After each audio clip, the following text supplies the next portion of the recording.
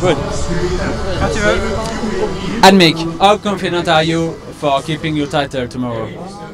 I'm quite confident. Yeah, actually, I was first a little bit disappointed after Flèche, but in the end, I uh, I think um, nah, I think I'm in a good shape actually, and um, I should not do be disappointed. Also, when I saw that the riders that were in the break on the second time on the Muur de Huy uh, with me, they end up all a little bit in my uh, classifications. So maybe uh, yeah, that uh, did not help us to go there on the last time. Muur uh, Muur de Huy. and um, it, it's also a race that suits me better. So uh, for all the spring, this is the this is the one that suits me the best. Tomorrow we have 3,000 uh, meters of elevation. That's also something that's good for me. So um, and I uh, have a really strong teammate. That's also something new uh, for me.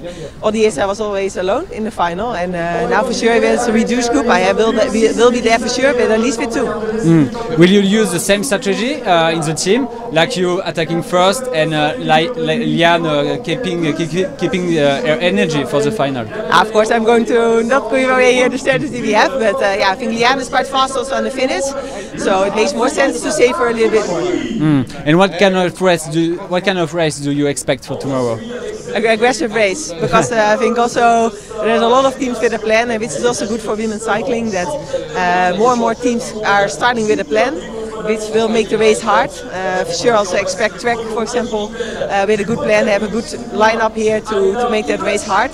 And um, yeah, I think uh, it's important that we have an exciting race. Thank you.